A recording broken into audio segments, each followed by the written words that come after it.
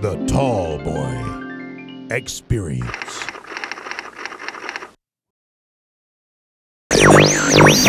Tall Boy. Tall Boy. To introduce Laz Alonso. He's, again, uh, someone who's done extraordinarily well. Young man from D.C., big heart for the community here. As you heard from Ivy, went to Howard, actually first went to Wall Street, but found his passion, found his genius in acting. And I always encourage young people, wherever that passion is, wherever that genius is, don't let anyone stop you and find ways to do that. He could have stayed on Wall Street, probably done extraordinarily well, but he found what was in his heart extraordinarily accomplished actor, but most importantly for me, someone who's very committed to giving back. Please give a warm round of applause to Laz Alonso.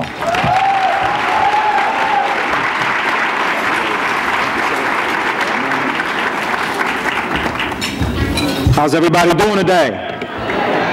All right, now I know y'all are eating. But that's whack, because if we were at homecoming right now,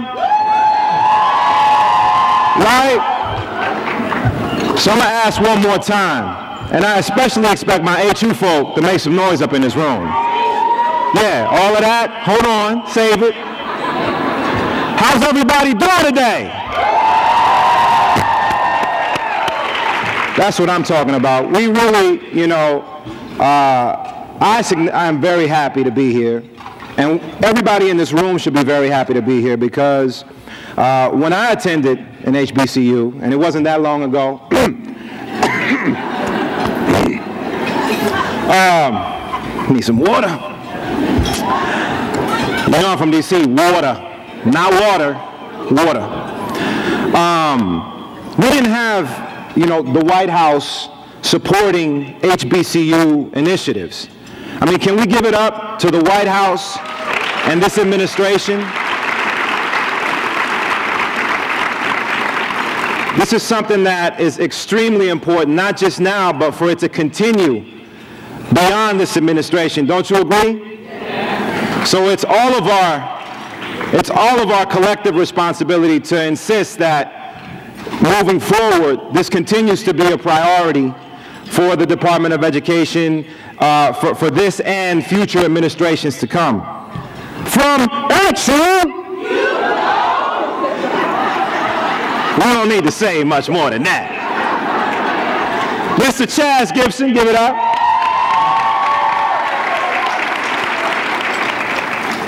Okay, so let's open up the panel. I would like each one of you first to just give a little bit about your experience both being at a HBCU and being an HBCU All-Star. What that means, and what that means not only on campus, but to the community surrounding your campus as well. So now you're pressing buttons too, bro. Come on, man. Good afternoon. Can y'all hear him? Had to be the brother from HU. Okay. See, he wants to get on the podium. That's really what it is. He rocked the bow tie today. Okay, turn that. Oh, turn the other one on? Okay. Oh. All right. Try it now. Good afternoon.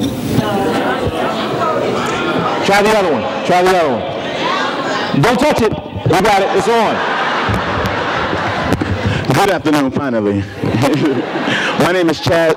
My name is Chaz Tremaine Gipson, and I am a doctoral student at Howard University.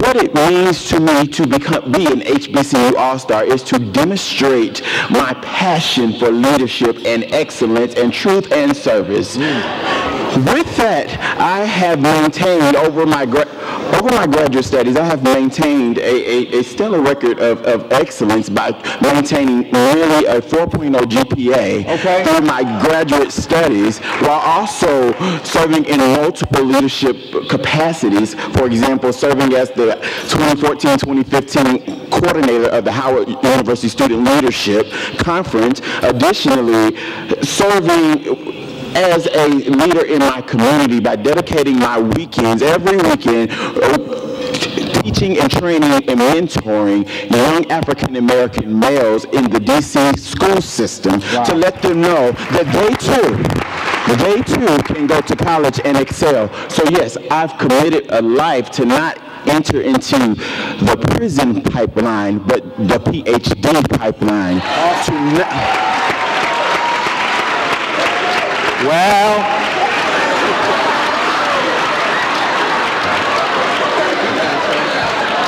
take your time. And that's important for others, for all my students know. Additionally, I serve as a teaching associate at Howard University, where I teach undergraduate students in the School of Communications on a daily basis. When I teach them, I push them to nothing but excellence, and I tell them every day there is no room for mediocrity when giving excellence. So, Love it.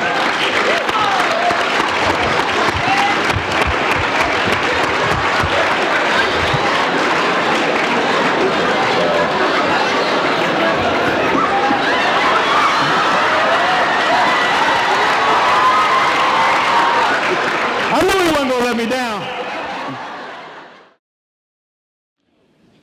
all senior executive leaders and the presidents of each university in here to build a strong relationship with the students on your campuses and invest your time, energy, and resources in them. Because if you do that, they are going to be the future graduates and alum of the institution. And if you do that, they will want to pay it forward. They will want to invest and give back to the institution of the HBCUs. So we need to do that. Uh, additionally, we need to build our, we need to build, connect with summer bridge programs, connect with uh, the programs like the student support programs and GPO programs so that students will see that it is possible, like it is possible for us to attend an HBCU. Additionally, they want to be an HBCU All-Star, want to be of a program similar to this, because that's if we do our part, they will want to do their part.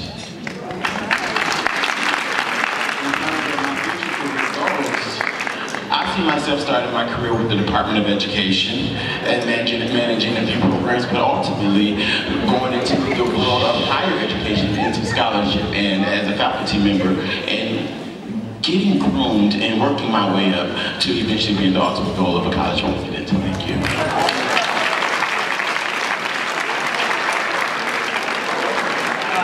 I apologize, brother. It's all right. You know, you, you know you're the last one I wouldn't cut off. Represent the day. So, uh, you know, just to finish what I was saying, network. So funny. Y'all gonna let me in on the joke once I get off stage. No, but please, network, network, network. All stars, you are our future. We trust you. We are proud of you.